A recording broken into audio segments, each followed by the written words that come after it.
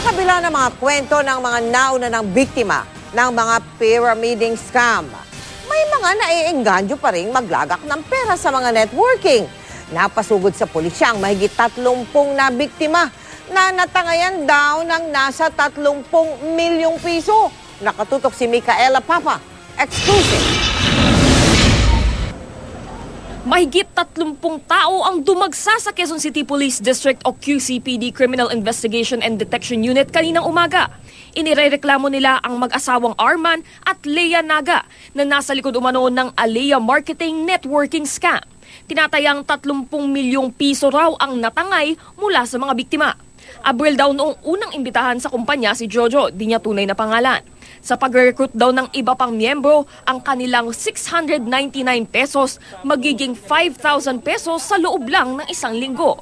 Ang paglago ng kanilang pera na monitor pa raw sa website ng Alia Marketing. Doon po kami na-convince talaga dahil minsan sa isang araw puma- may pumapasok sa amin per, per account namin uh, 4,000, 3,000. Matapos daw tumubo ang inilagak na pera, muli raw siyang nagbigay ng halos 200,000 pisong kapital. Pero hindi raw nagtagal, nade-delay na o hindi na nakakapag-payout ang kumpanya. Hanggang noong Hunyo, tuluyan na daw nagsara ang opisina ng Alea Marketing sa KEDSA Building sa Quezon Avenue. Hindi na rin nahagilap sina Arman at Lea Naga. Malaking problema ito para kay Marlon, di niya tunay na pangalan. Bukod kasi sa natangay ang 40,000 pesos na sarili niyang pera, nakatatanggap na siya ngayon ng mga banta mula sa kanyang mga ni-recruit na kapwa na goyo rin. Kaya nananawagan kami sa DILG Secretary. Kay Secretary Rojas, natulungan po kami. Dahil malakas po ang kalaban namin, marami pong pera. Kami walang pera.